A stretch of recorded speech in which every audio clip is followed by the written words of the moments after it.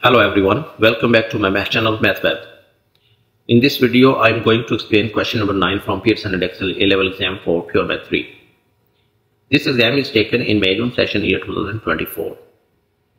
Paper reference code is WMA 13/01. Let me read the statement of this question. The curve shown in figure 5 has equation x equals to 4 sine square y minus 1 where 0 is less or equals to y is less or equals to pi over 2 the point P, k, comma, pi over 3 lies on the curve. Verify that k equals to 2. This is given in the question that this point lies on this curve. If it lies on this curve, uh, this point will satisfy this equation. Uh, to verify k equals to 2, just plug in these values in this equation, you will get the answer directly. We know that in this point, first value is always x and second is y. Plug in these values in this equation, you get the answer. So on the left hand side it will be k, x is k and then 4 sine square y, sine square y, y is pi over 3 minus 1. We know that sine pi over 3 is 60 degrees and uh, you know that sine 60 is square root 3 over 2. You can do it mentally or you can use your calculator if you don't know these answers. Make sure your calculator should be in radian mode. If you remember it, sine pi over 3 is square root 3 over 2 okay and if you take square of this one we get the answer as 4 into you know this answer it will be 3 over 4 minus 1 so this 4 is cancelled out. 3 minus 1 is 2 so k equals to 2 first part is done. It is as required. Now for the next part Find dx by dy in terms of y. First part you need to differentiate this equation with respect to y. This is dx by dy means you are differentiating this equation with respect to y. Let me write this equation here. For the first part, x equals to 4 sine square y minus 1. Differentiate this equation with respect to y derivative of x with respect to y will be dx by dy. dx by dy. This power will multiply with 4 you know power 2 multiply 4 is 8 reduce the power by 1 so it will be sine y only. And under the power we always differentiate it again. You need to take derivative with respect to y. Derivative of this function again it is the rule minus 0 derivative of 1 is 0 again let me repeat. Here I'm applying here I'm applying the power rule. What is the power rule? Actually whatever the function is here if you memorize the formula in this way you will never do mistake. Okay? So whatever the function is here we always bring this power here. Actually this is the rule. Bring the power here and then write function as is and reduce the power by 1 it will be n minus 1 then under the power function is differentiated again. It is the rule. Okay you should memorize the formula in this way. Hopefully you understand how to differentiate this one. Again let me repeat. Bring the power. This power becomes multiple and then we reduce the power by 1 so it will be n function n power n minus 1 under the power function is differentiated again. Derivative of that function again. Same way this power will multiply here 8 and it will be sine y because one power is uh, taken away from this two. So it left with one power only. And under the power is sine y you differentiate that uh, sine y again according to this rule. It will be equals to 8 sine y. Derivative of sine y with respect to y is cosine y. So this is the answer for dx by dy. This is the answer for the first part. For second part Hence show that dy by dx equals to 1 over 2 into x plus y square root of this one 3 minus x and square root 3 minus x. Let me write the second part here. You know we need to find dy by dx. To find dy by dx you know here it is, denominator is 1. You just flip the both sides. So to get dy by dx so it will be 1 over 8 sine 8 sine y cosine y you flip both sides. So you get this answer but we we we want to get our answer in terms of x only. You need to write these values value of sine y and cosine y in terms of x because we want our answer in terms of x. So first of all get your answer of sine y from the given question here given equation in the question. This equation we can get the value of sine y. Let me write this equation here because x is equals to 4 sine square 4 sine square y minus 1 implies that sine square y will be equals to you know you need to bring this one there on the left hand side so it will be positive and this 4 is multiplying so that will be divided. So it will be x plus 1 divided by 4 to get rid of this square you need to take square root of both sides. So answer of sine y will be x plus 1 square root of this and uh, 4 will be out of the square root so it will be 2 got it? And also you can get the value of because you got the answer for sine y sine y is x plus 1 square root of this one and divide by 2 and uh, we can get the answer of cosine y as well. Cosine y is 1 minus sine square sine square y square root okay? Uh, you remember this formula. Cosine square y is equals to 1 minus sine square y. And if you want to get the value of cosine y you need to take square root. In the next step you just need to plug in this value sine square y. Sine square y is it will be 1 minus sine square y is x plus 1 x plus 1 over 4 only. Now you need to simplify this. And uh, here so this is the LCM of uh, these two fractions. 4 is LCM and 4 multiply here. And this minus will apply inside here. Okay? So it will be minus x and minus 1 and uh, this 4 will come out of the square root. So it left with 4 minus 4 minus 1 is 3 3 minus x divided by 2 so here it, it is the square root and uh, 4 will come out of the square root. So this is answer for cosine y. Cosine y is 3 minus x square root divided by 2 now, after getting these two answers, you just need to plug in these two values in this equation.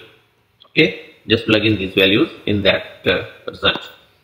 We get the answer as dy by dx will be equals to dy by dx will be equals to 1 over 8 1 over 8 sine y. 8 instead of sine y we will replace its value. Its value is 1 plus x divided by 2 and uh, multiply cosine y value of this one is 3 minus x square root of this value divided by 2 we know that 2 multiply 2 is 4 this 2 and 2 is 4 and uh, this will divide this 8 so it left with only 2 therefore answer of dy by dx will be equals to 1 over 1 over 2 square root of 1 plus x and square root of 3 minus x. If you go back to the question, here it is as required, exactly as required.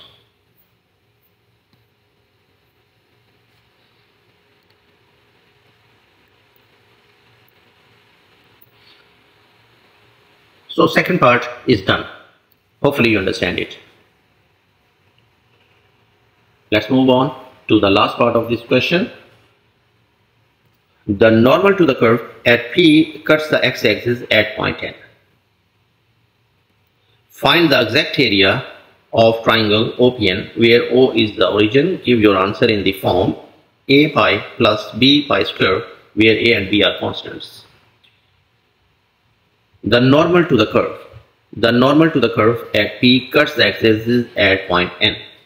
Let me draw the normal to the point P in the diagram. Look at the diagram.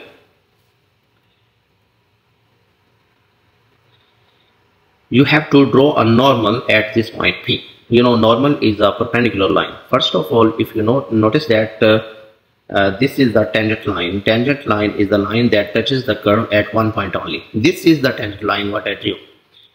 Now you need to draw a normal to this tangent line. If you draw a normal to this tangent line, this is the normal line this one is the normal line. This normal cuts the x-axis. Look here. That normal cuts the x-axis at point N. Go back to the figure. this normal line cuts the x-axis at point n okay let's say the gradient of the tangent line is m1 and gradient of the normal line is uh, m only and we know that the these two lines are perpendicular to each other. They are making 90 degree here. The product of these two gradients is always equals to minus 1 if you want to find the gradient of the normal line uh, that will be equals to minus 1 over m m1 m1 is the gradient of the tangent line. This formula you could use to find the gradient of the normal. If you join this point p with this origin like this you will get the triangle ONP actually you need to find the area of this triangle OPN this is the triangle OPN and we know that uh, we need to find this area OPN okay? Area of triangle formula is 1 over 2 times base times height. Here in this triangle to if you want to find the area of this triangle OPN ON is the base. Let me write here ON is the base. And here height is if you notice that uh, from there if you draw a perpendicular from P to this line uh, along x-axis if you draw a perpendicular along x-axis uh, this is the height of this triangle. That is all uh, already given here. The height of this triangle is pi over 3 this is the height. So just multiply pi over 3 so only one unknown thing that is ON how to find ON first of all you need to find the equation of the normal line and then and you could easily find the coordinates of n. To find the equation of the normal you should have the gradient of the normal okay? Gradient of the normal could be found by using this formula. And uh, m1 you can find that, is the gradient of the tangent line. And tangent line could be found by using uh, this point in the derivative dy by dx okay? dy by dx is the gradient of the tangent line and point P is uh, K we already found that is 2 if you plug in the, in this point you can find the gradient of the tangent line. For this last part you need to find the gradient of the normal. Before finding the gradient of normal you should have the gradient of the tangent line. So this is the gradient of the tangent line. Dy by dx at point P P is K K we already found that is 2 and pi over 3 we can find the gradient of the tangent line. Gradient of tangent. That is m1 and uh, we can plug in this value you know. X equals to 2 here. If you plug in this value in this equation you will find the gradient of the tangent line.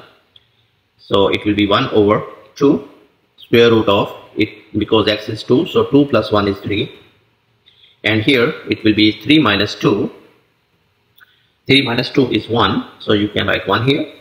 So gradient of the tangent line will be 1 over 2 square root 3 okay? So this is the gradient of the tangent.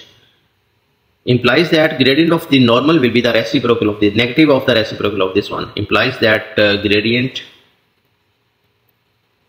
of normal will be equals to m and that will be equals to minus 1 over m1 the easiest way just flip this one and take the negative sign. So it will be negative 2 square root 3. Now it is the gradient of the normal and equation of the normal at point through this point P. Equation of normal through point P 2 and pi over 3 is formula is y minus y1 it is the standard formula of finding the equation of the line m into x minus x1 now plug in the values so it will be y minus y1. This is x1 and this is y1. Plug in these values here. y1 is uh, pi over 3. m is minus 2 square root 3 and here x minus 2 x1 is 2 okay this is the equation of the line actually this is the equation of the uh, normal line I did not simplify this. There is a reason. Because no need for this. Actually we want to find the coordinates of n. You know that this line is intersecting the x-axis at point n okay? So because this this at this point n uh, we can find the x-intercept. You know that along this line x-axis y is 0 so y is 0 along this line. If you plug in y0 in that equation you will find the coordinates of n y0 to find the coordinates of n y will be 0 along that line so plug in here 0 minus pi over 3 equals minus 2 square root 3 x will multiply inside the bracket. It will multiply with the first value, it will be like that, and then it multiply the second value, it will be plus 4 square root 3. Minus and minus makes it plus. So in the next step, you can move this value on the left hand side, so it will be minus again. So it will be minus pi over 3 minus 4 square root 3 equals to minus 2 square root 3 x. Then you divide by this value, each term will be divided by minus 2 square root 3. If you multi if you divide minus pi by 3 by this value minus 2 square root 3, you know this minus and minus makes it plus. So this 2 will multiply by 3. So it will be pi over 6 square root 3.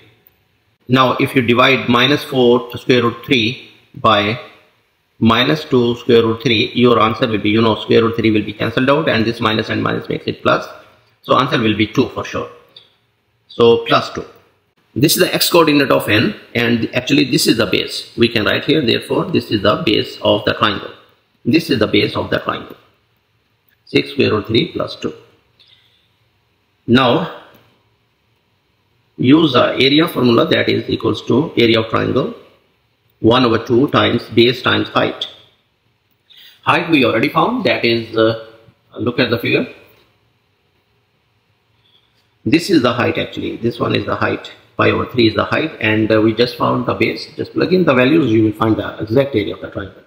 So answer will be 1 over 2 multiply base is pi over 6 square root 3 plus 2 multiply height height is pi over 3 this pi over 3 and this 1 over 2 you can multiply them together and it will be pi over 6 into pi over 6 square root 3 plus 2 this pi over 6 will multiply inside the bracket with both numbers. So answer will be pi over 36 square root 3 this will be pi square actually. Pi multiply pi will be pi square. 6 multiply 6 will be 36 square root 3 and then pi over 6 multiplied by 2 answer will be pi by 2 so this is the exact area and it is exactly as required. This was the demand of the question. First value should be, look at the question. We want our first answer uh, linked with pi and second answer linked with uh, pi square. So get it that way. There is no difference. Both answers are acceptable.